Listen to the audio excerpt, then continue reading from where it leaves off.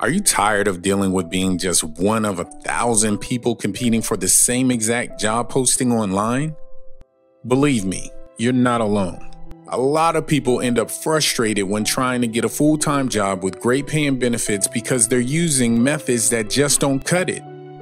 You may have spent hours every day searching and submitting resumes on websites like Indeed and ZipRecruiter. Or Maybe you've taken the advice of experts and tried to expand your network on LinkedIn. Unfortunately, these solutions haven't worked all that well and ended up leaving you without any real job opportunities. But now, there's an answer that can fix that. Introducing the North Carolina Manufacturing Institute, a powerful new program that can help you get a full time job with great paying benefits without all the headaches. Here's just a few things about the North Carolina Manufacturing Institute that will help you.